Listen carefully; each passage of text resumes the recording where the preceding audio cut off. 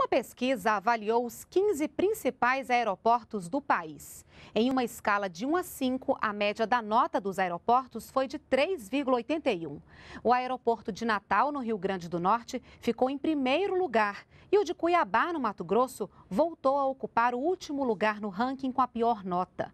A pesquisa ouviu mais de 18 mil pessoas. O item mais bem avaliado pelos entrevistados foi a cordialidade dos funcionários no check-in. Já o valor da alimentação nos aeroportos teve a pior avaliação.